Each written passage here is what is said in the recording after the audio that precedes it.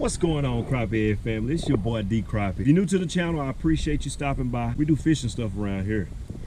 I had a couple of Crappie member, uh, family members ask me to do a video on how to set up a fishing rod from start to finish.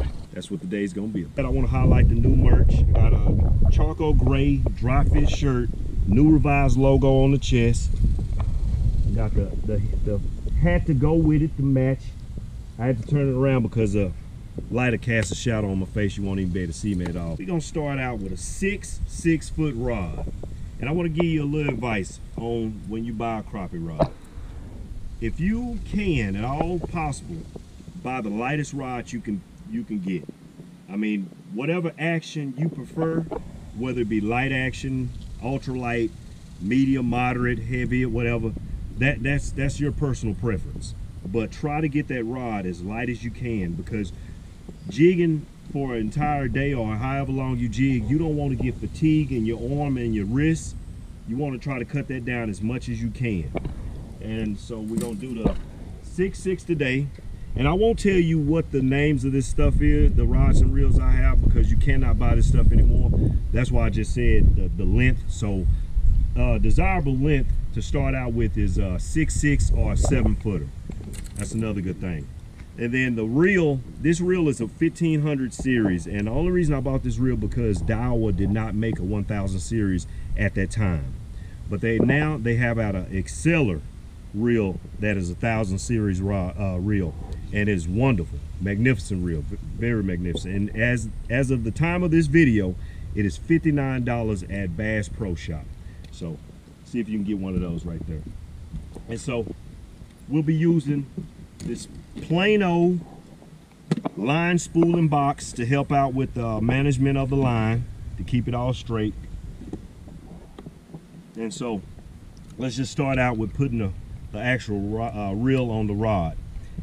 And this is what you'll have to do if you don't buy a combo rod setup. The combo would already be, already be on there together for you. So I'm actually moving before I'm talking. So you slide the rod, the rod seat. This this is called a rod seat right here. This is where the reel goes into. Push that up in there. Hold your thumb down at the bottom, keep it in place, and just screw it down tight. You want to screw it down as tight as you can without breaking it.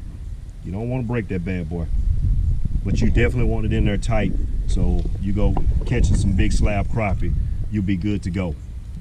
And so next, we'll do the line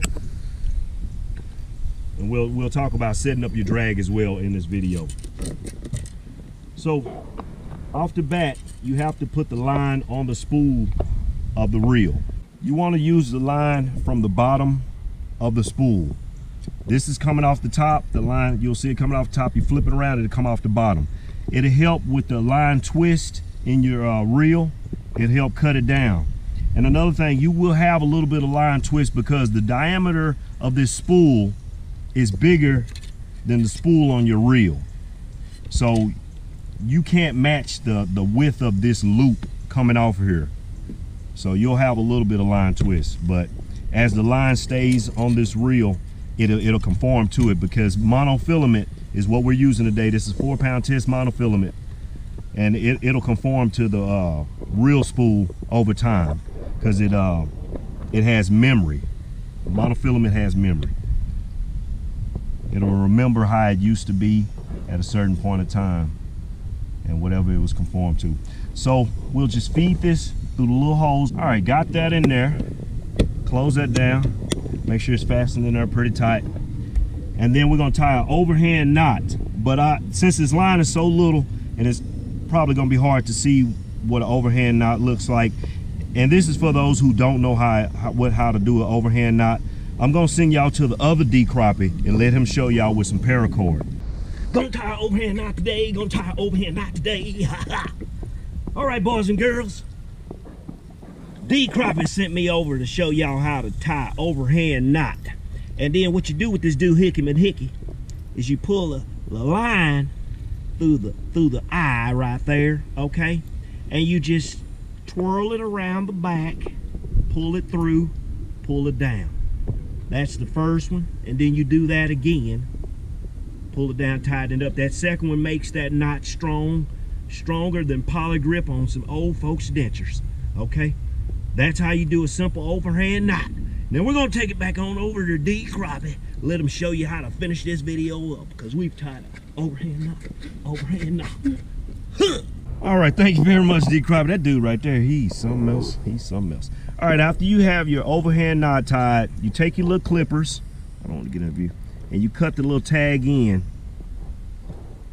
The little extra line, cut that off. Flip your bell, and you're gonna you're gonna run your line through the first eye guide on the on the rod. The first guide on the rod, you're gonna run your line through there, and then we'll turn the little box, set it straight towards us, pointing towards us and then you'll just reel it on in, spool it up. You can spool that bad boy as fast as you want to or as slow as you want to. But you'll see the line going there evenly. And just spool that bad boy up until it gets to a point where it fills up. And uh, a lot of the spools will have uh, line guides right there. And you can you can run it to either one of those lines to your preference to fill it up. But I, I would prefer you not to go past this last line. So fill it to that point right there and then you'll be good to go. And this is about as much line I'm gonna do on this reel for this uh, demonstration because I'm not gonna actually use this line on here. But, all right, so we'll, we'll run it there, right there. Then we'll pull out some extra line because we have to run it through all the guides on the rod. Run out of extra line, clip that, And then from this point, you'll just thread, let's go down here. You'll just thread the line through each one of these guides and make sure you pay attention. I always like to pull on it to make sure I have the guide connected because sometimes you can think you went through the guide and you really didn't. And so I always do a little pull to make sure because it's nothing like getting out on the water and you get ready to fish and you don't have it through all these guides and then you got to redo it. Trust me, I've done it too many times, more times than I want to know. And I've been fishing for a long time. So keep running these through all the guides. These little guides, I got a little micro guides on here and they bad boys hard to see. All right, we got the line all through the guides now. And now you're gonna get ready to do the fun part. You're gonna tie your jig head on. All right, so we have a 1 8 ounce jig head right here and I'm gonna show y'all one of the, my favorite knots to tie on this jig head. But you know what? Since this line is so light and maybe hard for some of you guys to see we're gonna take it on back over to the other D to show y'all how to tie a loop knot okay? I'm gonna show you how to tie a loop knot. I'm gonna show you how to tie a loop knot. All right boys and girls today D. Crappie wants me to show y'all how to tie a loop knot, one of his favorite knots, the town of crappie jig. Okay, so we're gonna, this is gonna be your jig eye right here, where you stick the line through. You stick that line through there like that, and you'll double, double it over. Guys, excuse my English. You double it over, then you take your two fingers, wrap that, make you a little circle around that those fingers right there because you need two so you can stretch it open like that. Then after you have it stretched open, you got the tag line and, and the main line in your hand. You take the, the line with the jig head and just drop it back through the loop. Let me get some more, let me get some more stretch out here. Make my little circle there. Take the jig head. It don't want to cooperate. Drop it through the loop. Drop it through once, drop it through twice. On your regular fishing line, you'll do that three times. Since is paracord, it's a little thicker. So uh, we're gonna do it like that for this, this demonstration. And after you have your loop ready, I suggest you tie that loop tight close to the jig, high, jig eye. So you just pull your knot down some like this here. Pull it down, slide that thing down that line, pull it down tight, because the closer you have that knot to the jig head, when you get hung in some brush, you'll be able to push that jig down a little bit more. If you got a bigger loop, it'll just slide through there real easy. So slide that knot down as close as you can to that jig head and you'll be in the money. Okay? And I'm gonna send y'all over there back to D crappie because I taught you how to tie a loop knot. Man, that other D crappie, he's crazy. I hope he's not paying him. All right, when you got your jig tied up, you'll have a tag end, which is the end that you're gonna get rid of. Just clip that as close as you can to the knot. Then you have a pretty little knot right there. And so next we'll put the jig on the jig head. And so this is a custom bait. I, I like using custom baits to get a uh, fish a little something different than they've seen before. All the generic stuff in the grocery store that you can find. But what you want to do is squeeze the jig between your fingers like this. And you want to come down the middle of the jig. You want to come dead center of the jig. And you're going to actually do this like you would do like a worm on a hook.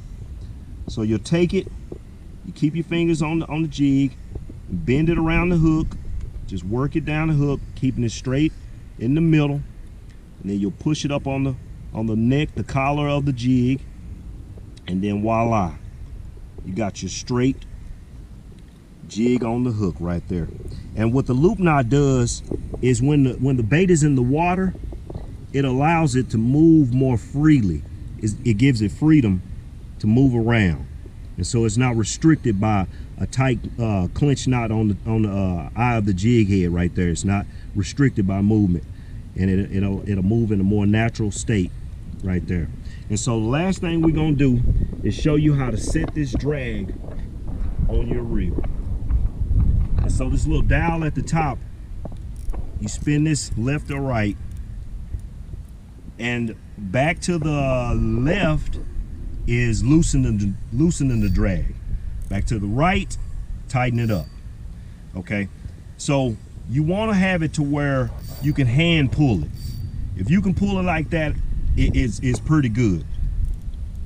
If definitely if you're fishing around some big big fish, you don't want to have it too hand tight to pull out because it'll put more stress on your line and give the fish a chance to break your line. The looser your drag is without it being too loose, is better for you far as landing the fish that you're you're trying to catch.